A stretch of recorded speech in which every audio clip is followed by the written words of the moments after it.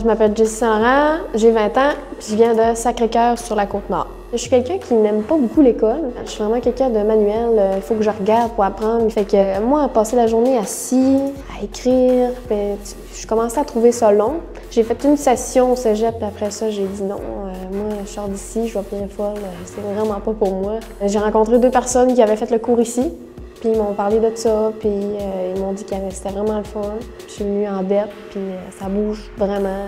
C'était ma sortie de secours du cégep, mais je pensais pas que j'allais tant aimer ça. Ben, c'est une belle formation, euh, il y a des belles activités. Puis en plus, euh, les profs, ils sont...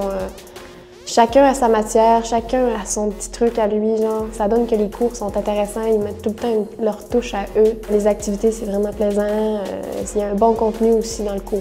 C'est une très belle formation. Euh, ça brasse pas mal, on a du fun en maudit. Il y a beaucoup de pourvoiries, beaucoup de parcs qui font toujours le demande de- à chaque fin d'année. Ils demandent le- les étudiants parce qu'ils savent que le CFP euh, sont très bons en placement. C'est vraiment beaucoup en demande aussi. euh, en DEP, on bouge, euh, tu passes pas la journée à être assis. C'est des belles activités, ça passe vraiment vite. Euh, Il y a même pas un mois, on commençait le DEP puis on finit dans cinq mois. Ça a passé euh, comme un claquement de doigts.